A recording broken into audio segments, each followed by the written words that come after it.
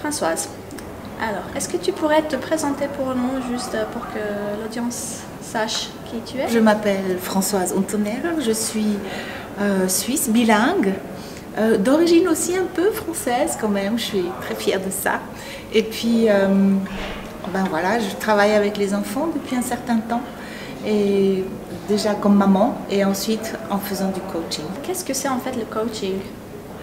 Pour moi, le coaching, c'est accompagner l'enfant de vivre son talent, les choses qu'il sait bien faire.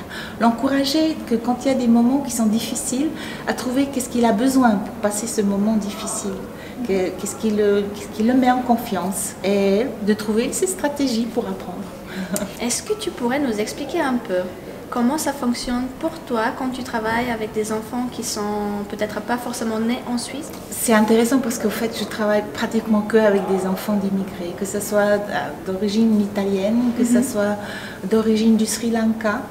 Et eux ont naturellement une, force, une très forte euh, intention de garder leur culture.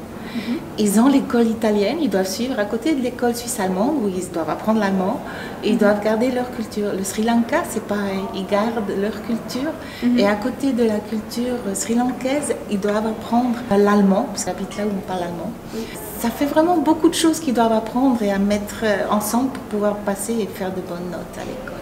Est-ce que c'est déjà arrivé qu'il y a des familles qui essayent tellement à s'intégrer dans le nouvel pays que parfois ils ont tendance à laisser tomber leur propre culture et langue et qu'est-ce que ça peut avoir comme impact?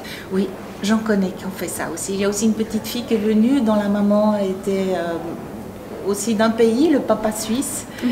et la maman voulait seulement parler la langue d'ici, parler l'allemand. Et la petite fille était vraiment très perturbée en disant je ne peux pas garder cette culture, euh, on parle que allemand. Euh. Mhm. La langue du cœur est quand même différente que la langue qu'on apprend. Mhm. Et ce sont des émotions qui sont posées depuis des générations comment ce qu'on dit, cette langue du cœur ou ces émotions, on peut difficilement les passer par la langue étrangère. Mhm. Ça va ça va pas nous toucher aussi profondément, ça va pas nous marquer aussi profondément.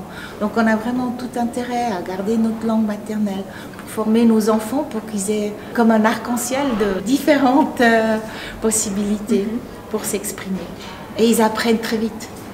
Et puis toi, tu as appris à tes enfants la culture française aussi moi, avec mes enfants, j'ai toujours parlé français. Mon mari a aussi parlé français un certain temps avec nos enfants. Et avec ça, on a réalisé que lui ne pouvait pas exprimer toutes ses émotions en français comme on aurait aimé mhm. ou comme il aimait. Alors, on a les deux parlé notre langue maternelle avec nos enfants. Mhm. Qu'est-ce qui se passe? Nos enfants nous traduisent. Oui. D'accord. Ils comprennent l'émotion du père et ils comprennent l'émotion de la mère quand les deux ne se comprennent pas. Oui. Ils, ils, ont ce feeling.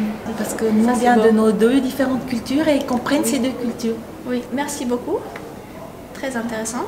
Et j'espère que chacun soit prêt à garder sa culture et son identité pour mieux vivre dans un nouvel pays.